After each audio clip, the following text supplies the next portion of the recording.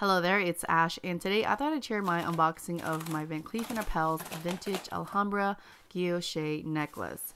Again, I purchased this item online before Mother's Day, and again, this is my first unboxing of anything from Van Cleef & Arpels, so I'm really excited to see how their packaging looks. Again, you'll see that this product comes with a small Van Cleef & Arpels shopping bag, and their gift box has this gray color to it with their hot stamped trademark right there in the corner in a beautiful silver foil. Now this is a very sturdy gift box. It has a very luxurious suede exterior and again this is a magnetic closure. Um, and wow, just look at the inside. It is lined with this black velvet which is amazing. The product is also secured with all of this great crinkle paper and again here at the top there is a large Van Cleef & Arpels envelope. Alright, so this has the return and exchange form. It briefly goes over their process and policies for returns. I'm just going to put this back into the box because there is a special little pocket for it. Uh, moving on here is a small Van Cleef & Arpels trifold folder and it contains a thick booklet inside which briefly goes over the care and services for their products. It again is a thick booklet because it is presented in 11 languages. Next to it is the authenticity certificate, and it has the official Van Cleef & Arpels hologram sticker at the top, and it has your serial number, reference number, date of purchase, and finally a Van Cleef & Arpels stamp of where it was purchased. Again, I blurred out all of my information because I don't want the information stolen. But yeah, next is a Van Cleef & Arpels gift card with a personalized message. And again, this was a gift for me for Mother's Day. Also included in here is a small Van Cleef & Arpels travel pouch in a green suede. And this has a button closure to it. And you can see all of the Van Cleef & Arpels logo um, hot stamped on this suede pouch also. So finally buried inside of all of this excessive gray crinkle paper is the actual product.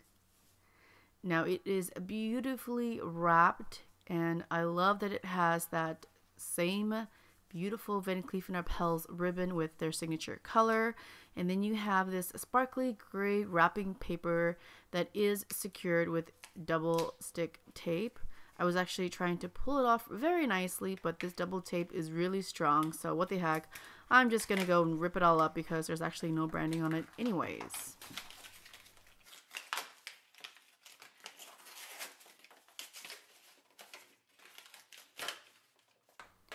So finally we get to the white Van Cleef & Arpels gift box and it comes with a lid, but one side of this box does bend down so that you can easily pull out the Van Cleef & Arpels jewelry box. And again, this has a nice, beautiful suede exterior and it is a very sturdy jewelry box and inside again it is lined with black velvet and here is my Van Cleef & Arpels vintage Alhambra guilloche necklace and it is just so beautiful. But yeah once you take out this part of the jewelry box you'll see the actual necklace in its entirety and attached to it is a security tag which you do not want to remove if you want to return it.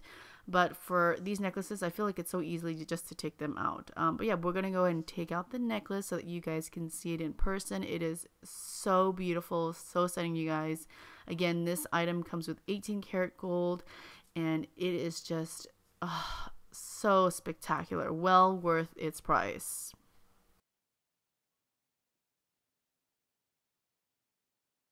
Alright, so I just wanted to quickly go over the specs of this product. Again, this is called the Vintage Alhambra Necklace, and it has the guilloche pendant. It is priced at $3,550 and you obviously can purchase this online or in the boutiques but it is a very rare item to find.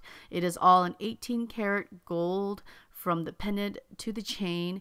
And again this chain is 16 and a half inches in length and the motif itself is about 15 millimeters in size. The vintage alhambra line was actually created in 1968 this specific product was released around 2018 i believe and it is very very popular i actually really love it as a necklace it is such a substantial size for a pendant and uh, I'm just so happy that I actually have it. Uh, but yeah, that is pretty much it for today's unboxing. Thanks again so much for watching. I'm Ash, and I'll see you guys next time.